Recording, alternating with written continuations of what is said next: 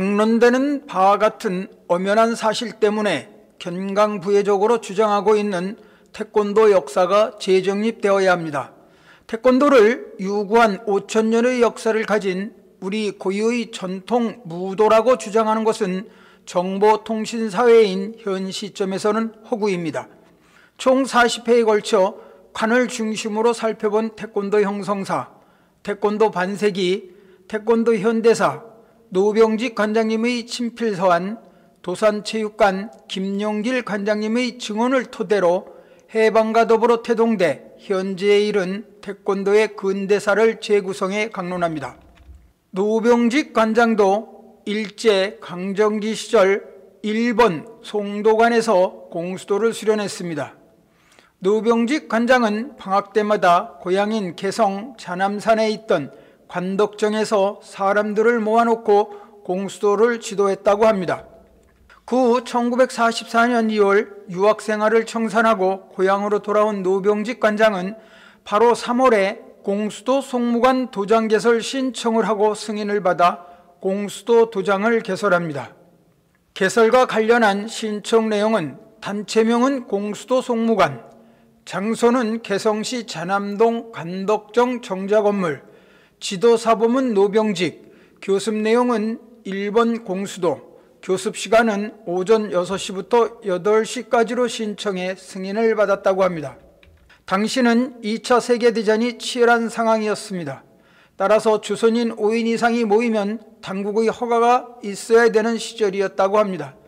특히 무술 수련을 한다는 것은 있을 수 없는 상황으로 더욱 까다롭고 허가가 안 나는 상황이었다고 합니다.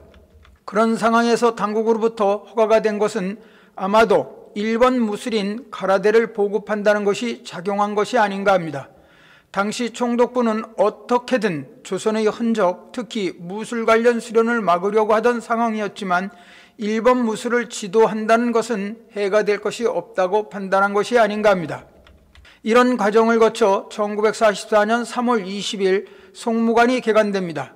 송무관 창간일을 1944년 3월 20일과 1944년 7월 25일이라는 설이 있는데 제1회 승급 심사가 1944년 7월 25일에 이루어졌다는 점에서 내부적인 창설일은 1944년 3월 20일이 맞는 것이 아닌가 합니다.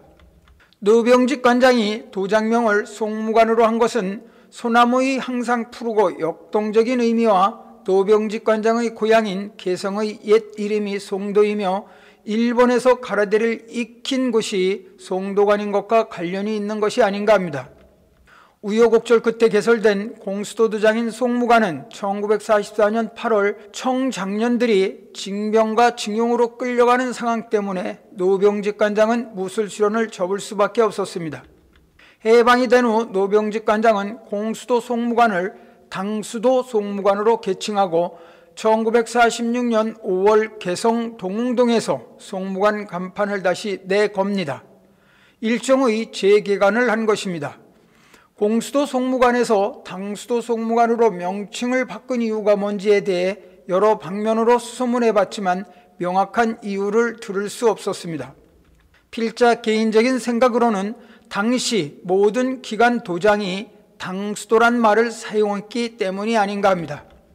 1946년 5월 송무관이라는 간판으로 다시 개관해 후진을 양성하기 시작한 노병직 관장은 청도관을 창설한 이원국 관장이 송무관을 창설하는 데 도움을 주고 송무관 이름까지 지어줬다는 소문은 근거 없는 낭설이라고 반박합니다.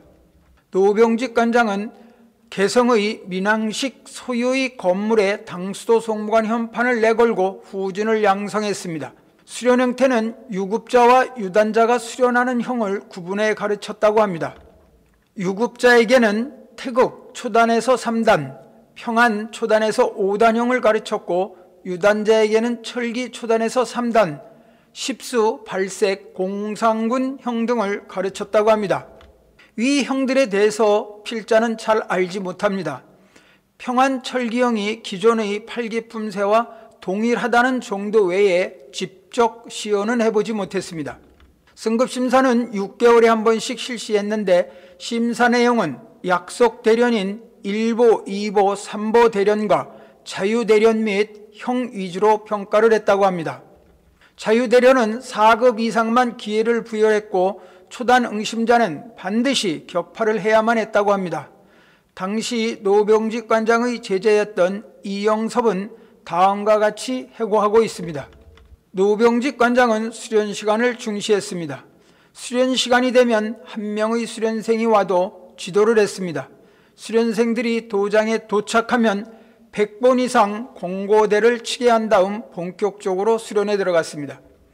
대련을 할 때는 인정사정이 없었고 4급 이상은 실전 대련을 시켰는데 상대가 본인보다 체격이 크면 상대방이 쓰러질 때까지 시켰습니다. 또 영하 10도 이상인 강추위에 난로가 없어 땀이 났다가 금방 얼어붙는 상황에서도 아랑곳하지 않고 수련을 계속하였습니다. 일정의 모한 수련을 한 것입니다고 해고합니다. 이 해고를 보면 태권도 수련에서 강조한 극기, 인내, 노력을 실천하도록 한 것이 아닌가 합니다. 당시 송무관은 6개월에 한 번씩 승단 심사를 받다고 합니다. 다른 도장과 특별한 것은 심사에서 반드시 격파 부분을 통과해야만 승단을 시켰다고 합니다. 당시 송무관 출신으로는 이혜순, 이영섭, 김홍빈, 한상민, 송태학, 이희진, 조규창, 홍영창, 강원식 등이 있지만 5대 기관 도장 중 가장 관세가 미약했습니다. 다음 회차에서는 군인 채용이 오도관에 관해서 강론합니다.